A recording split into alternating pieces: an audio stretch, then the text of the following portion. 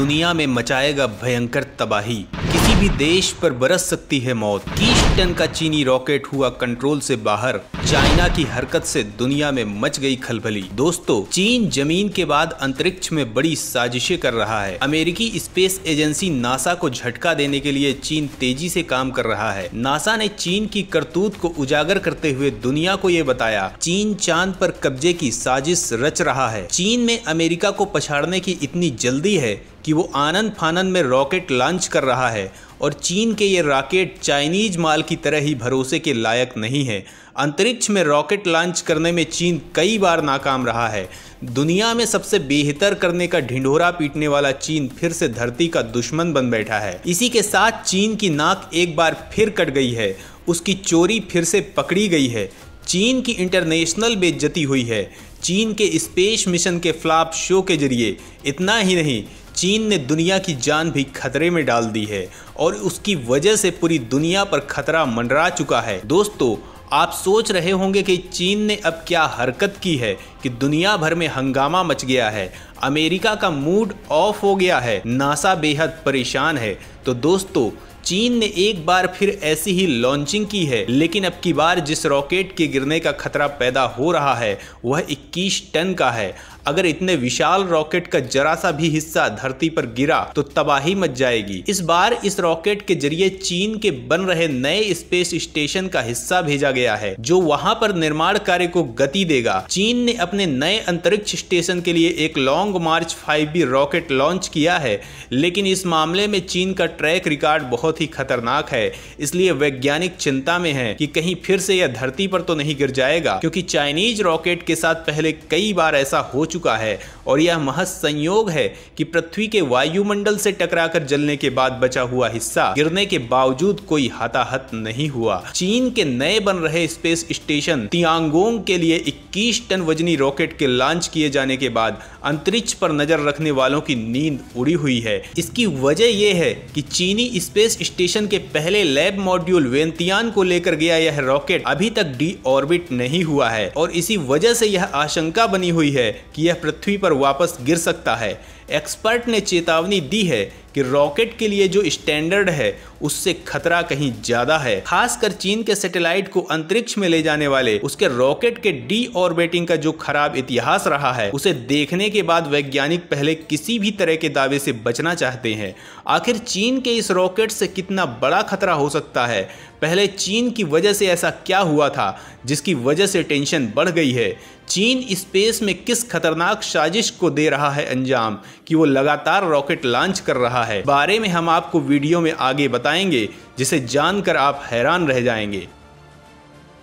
चीनी तकनीकी की दुनिया के सामने खुल गई पोल। अंतरिक्ष में ड्रैगन पहले भी हुआ है बुरी तरह नाकाम। दोस्तों, ये चीन में पोस्ट की गई तस्वीरें थी। तस्वीर में एक तरफ़ चीन के लॉन्ग मार्च फाइव रॉकेट की लॉन्चिंग दिखाई गई थी तो दूसरी ओर भारत में जलती चिताओं को। चीनी भारत का मज़ाक उड़ा रहे थे कि हम रॉकेट में आग लगा रहे हैं और भारतीय चिताओं को, वो कहा और हम कहा? चीन की इस घटिया सोच और नियत की दुनिया भर में थू थू हुई, लेकिन अभी ज़्यादा वक्त बीता भी नहीं था कि चीन जिस रॉकेट पर इतरा रहा था वही आउट ऑफ़ कंट्रोल होकर ज़मीन सूंघने लगा। कुछ समय पहले ही चीन का एक ऐसा ही रॉकेट भारत के आकाश में जलने के बाद मालदीव के पास हिंद महासागर में गिर चुका है और अब चीन के जिस रॉकेट ने दुनिया भर के अंतरिक्ष वैज्ञानिकों को टेंशन में डाल दिया है, वह है लॉन्ग मार्च फाइव जिसे कि तियांगोंग स्पेस स्टेशन के लिए रवाना किया गया था। चीन का सबसे शक्तिशाली रॉकेट लॉन्ग मार्च फाइव अपने तीसरे प्रक्षेपण में वहाँ के लिए पहला लेबोरेटरी मॉड्यूल लेकर गया है, क्योंकि चीन का अंतरिक्ष स्टेशन अपने निर्माण के आखिरी चरण में है। अंतरिक्ष में सैटेलाइट और मलबों पर नज़र रखने वाले वैज्ञानिक जोनाथन मैकडोवेल ने इस बात की पुष्टि की है कि 21 टन का निष्क्रिय रॉकेट कोर चरण में ही ऑर्बिट में है। और इसे सक्रिय रूप से डी ऑर्बिट नहीं किया गया। Harvard Smithsonian Center for astrophysics में खगोल भौतिक विज्ञानी मैकडोवेल ने यह भी बताया कि ये अलग हो जाएगा, लेकिन पिछले एक्सपीरियंस से पता चलता है कि 30 मीटर लंबे मेटल के टुकड़ों का एक गुच्छा कई सौ किलोमीटर प्रति घंटे की रफ्तार से ज़मीन से टकराएगा, जिससे बड़ा हादसा हो सकता है। रॉकेट लॉन्चिंग में चीन की नाकामी पहले भी दुनिया देख चुकी है। चीन की इन भयंकर गलतियों का खामियाजा दुनिया भर को झेलना पड़ सकता है। पहले भी चीनी रॉकेट के चलते भारत पर खतरा मंडरा चुका है। दोस्तों, आप जानना चाहते होंगे कि चीन ने ऐसा क्या किया था तो ये जानना बेहद ज़रूरी है कि इसी साल चीन का एक रॉकेट वापस पृथ्वी के वायुमंडल में लौटकर भारत के आसमान के ऊपर जल गया था। चीन ने यह रॉकेट चांग झेंग फाइबी को फरवरी 2021 में लॉन्च किया था। चीन के इस नाकाम अभियान को लेकर पूरी दुनिया ने कड़ा रिएक्शन दिया था उस पर आरोप था कि रॉकेट को डी ऑर्बिट करने के लिए उसकी स्कीम बेहद बेकार थी। इसकी वजह से रॉकेट का बहुत बड़ा हिस्सा कंट्रोल से बाहर हो गया। उस रॉकेट के ज़रिए भी चीन ने स्पेस स्टेशन के लिए ही उसका हिस्सा भेजा था। वह रॉकेट करीब 30 मीटर लंबा था। बीस हज़ार किलो वजनी उस रॉकेट का जो हिस्सा गिरा था, वह पृथ्वी पर गिरने वाला अब तक का सबसे विशाल अंतरिक्ष मलबा था। इसका काफ़ी हिस्सा तो वायुमंडल में जल गया था, लेकिन बाकी हिंद महासागर में मालदीव के पश्चिम में गिरा था। अंतरिक्ष से आतंक फैलाने में कुख्यात चीन 2020 में भी दूसरे देश के लोगों की जान खतरे में डाल दिया था। तब भी उसने long March five rocket launch किया था, जो कंट्रोल से बाहर होकर वापस पृथ्वी पर गिर पड़ा था। चीनी रॉकेट का यह बेकाबू मलबा पश्चिमी अफ्रीका के आइवरी कोस्ट गणराज्य के दो गाँवों पर गिरा, जिसकी चपेट में आकर कई इमारतों को नुकसान पहुँचा था। 2016 में चीन का पहला स्पेस स्टेशन तियांगोंग वन प्रशांत महासागर में क्रैश कर गया था। चीन की ये नाकामियाँ बताती हैं कि चीन अपनी जिन तकनीकियों का दावा करता है। दरअसल उनमें एक्यूरेसी रेट बेहद खराब है, जो उसके दावों की पोल खोल देती है। अमेरिका और रूस के रॉकेट भी हो चुके हैं फेल। दोस्तों, इतना ही नहीं, इंटरनेशनल स्पेस स्टेशन यानी आईएसएस में खाने, पीने और ज़रूरत की तमाम दूसरी चीज़ों को ले जा रहा रूस का एक अंतरिक्ष यान एक दिसंबर साल 2016 में लॉन्चिंग के कुछ समय बाद ही जलकर खाक हो गया। जब यह हादसा हुआ तो अंतरिक्ष यान रूस के पर्वतीय तुआ क्षेत्र के करीब 190 किलोमीटर ऊपर पहुँच चुका था। अचानक यान में कुछ खराबी आई और भीषण तेज धमाके के साथ यान के चीथड़े उड़ गए। गनीमत रही कि यान अपने रास्ते से भटक कर किसी आबादी वाले इलाके पर नहीं गिरा, वरना ये बड़ी तबाही ला सकता था। इस यान में करीब 2.6 टन खाद्य सामग्री के साथ तेल और अन्य ज़रूरी सामान लदा हुआ था।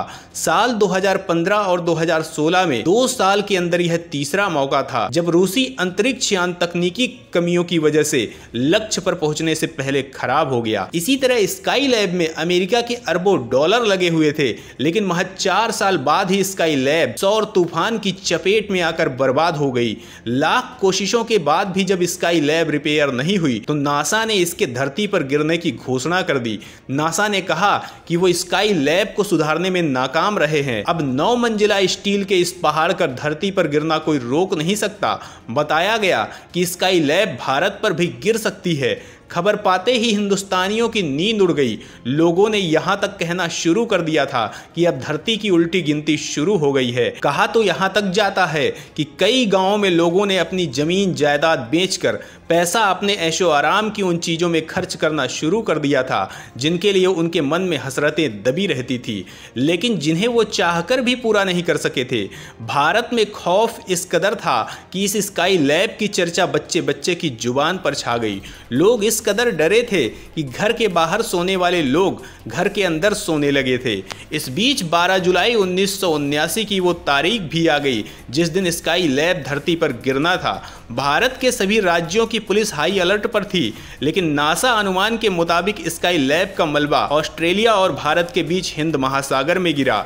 इससे किसी तरह की जनहानि नहीं हुई, लेकिन इस बार चीन की गलती का खामियाजा किसे भोगना पड़ेगा, ये कोई नहीं जानता।